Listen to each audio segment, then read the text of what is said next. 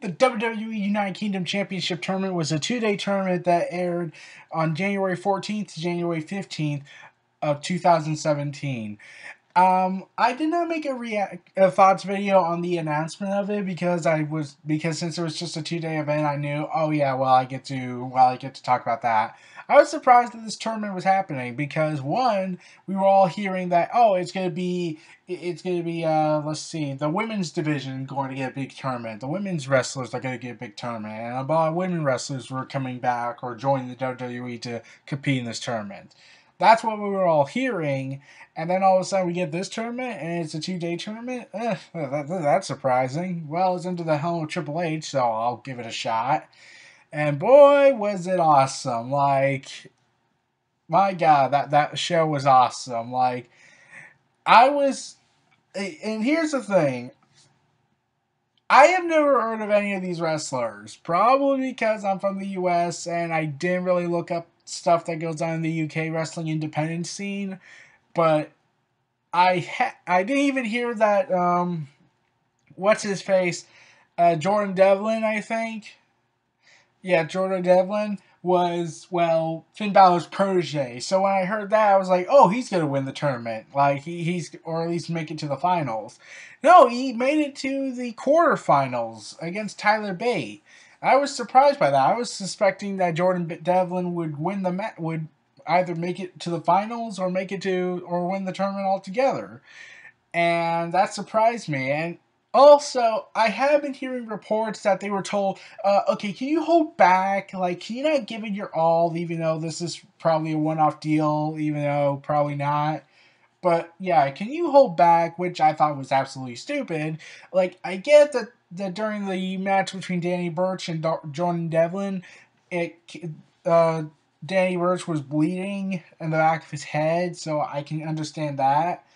But there was no other injuries reported, and that was mostly because they held back. But all the matches were great, uh, good from good to great, and I always now wonder what would have been if they were not allowed to hold if they were allowed to not hold back and allowed to give it their all.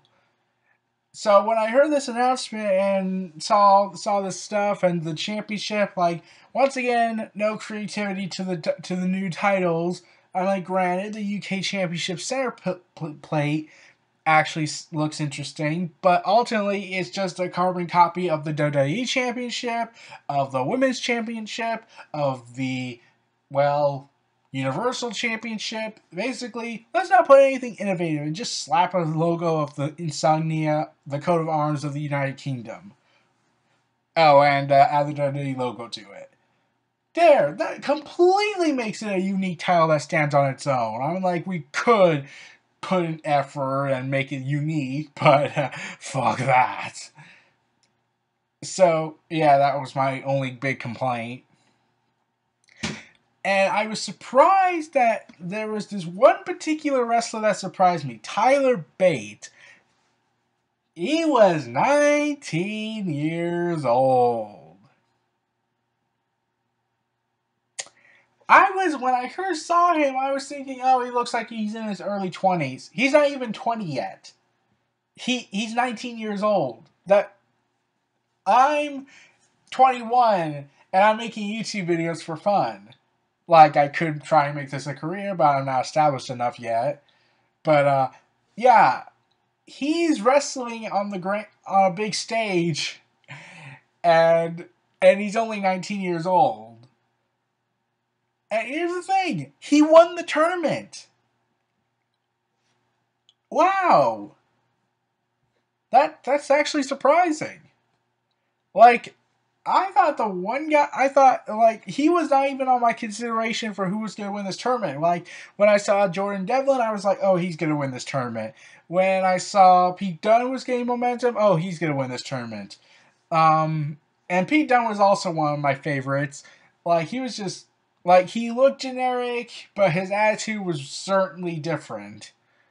And I think, you know, I wouldn't have been surprised if people were like mad at that don't like Pete Dunne because of his last name sounding very familiar to a certain Dunn who likes to say no to anything that Triple H creates and therefore will bash anything that's created and also punish all the guys and gals who are affiliated with Triple H in every single way possible instead of, you know, doing a good fucking job at his, you know, job. Also, we got Neville and Tommy End to compete in a non tournament match, which was awesome. And Tommy End is supposed to de- make his debut in the NXT division and have a different name, so this must be like a going away moment for Tommy End's name. But Neville managed to defeat him, and it was a good match. And yeah, and Michael Cole Okay, let's talk about the announcers. Nigel McGuinness and Michael Cole. They were awesome. I can't believe I'm saying that, but Michael Cole actually was passable in this.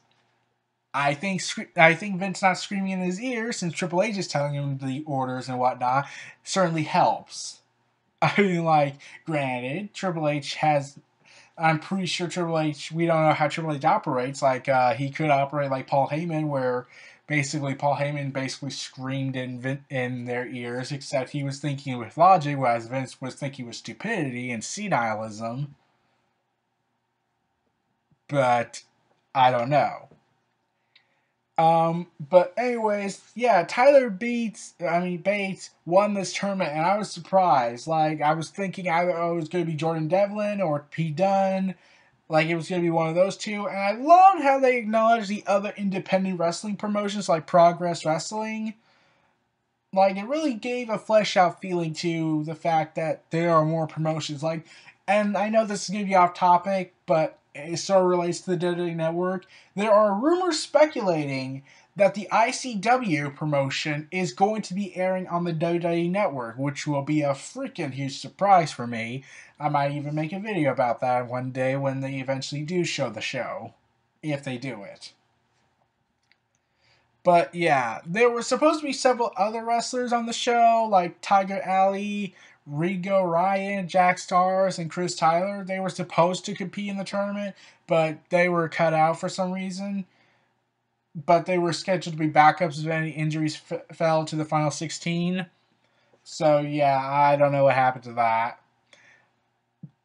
And, however, Jordan Devlin, I gotta be honest, he is way too much like Finn Balor. He wears the jacket, the black jacket. He has the face of Finn Balor. Not to help that Finn Balor is actually there. And I'm thinking like, oh dear, this is gonna be problematic. Um, if this was on the main, I mean, like the hardcore fans know who Jordan Devlin is. Not me, but I know who. Jo- but like they know who Jordan Devlin is, so they would cheer for who he is.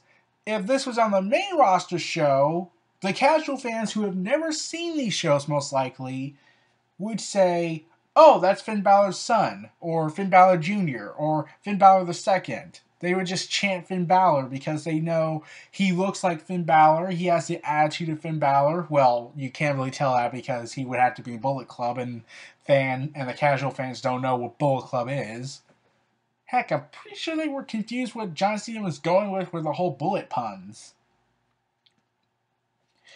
So yeah, um, Jordan Devlin, like he has to change up a lot about himself, or else people are just gonna think, oh, he's Finn Balor. Oh, he's just Finn Balor's protege instead of coming up with his own unique identity. You know, something that Roman Reigns seriously needs instead of borrowing all the Shield aesthetics. Like he could keep the armor, the security armor, but like because that actually fits him. But the music and believe that, like, yeah, that needs to be questioned. Like he could just say when he turn if he turns heel is saying I'm Roman Reigns, I'm better than you, because on the grounds of well, Roman Reigns has been given the Superman booking, so let's just do that. But I'm talking about nonsense. So yeah, Triple H, Finn Balor, Finlay, and William Regal all showed up for this event and provide and gave Tyler Bate the belt. which was awesome. Like I was thinking, like since we were seeing Finn Balor and William Regal, I was like, "Where's Finlay? I want to see Finlay on here." Like I get Triple H is supposed to be here because he's the host of the show and the creator, but I want to see Finlay. Like he made a major impact in the wrestling scene, so yeah. I, my wish was granted when Tyler Bates won because Finlay showed up to help with the ceremonies. So I was like, they listen to us. Triple H listens to us. Whereas Vince McMahon just gives us the middle finger too many times nowadays. But moving on, um, this isn't the same as the cruiserweight division. If you haven't seen this tournament, like I didn't see it live, I saw it after the shows because my internet was acting up. But if you were thinking it's gonna be like the cruiserweight division, it's not. It's a more grappler based style Whereas the cruiserweights was all about Japanese, Mexican, high technical matches, this is more grappler based. And I was glad to see it. I was glad to have watched it in its entirety. Probably was easier because it's two not because it's just two episodes where I missed several Cruiserweight Classic episodes and I, it was becoming a drag to watch all of them at once.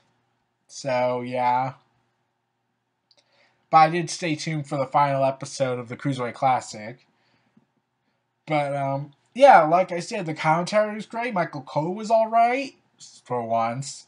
Nigel McGuinness was great, and he's a former Ring of Honor Ring of Honor guy. So I wonder how many buttons that pressed for Kevin Dunn. But I can't wait what's going to happen next with these tournaments. Like, are they going to do the women's tournament this year? Are they bringing back the Cruiserweight Classic?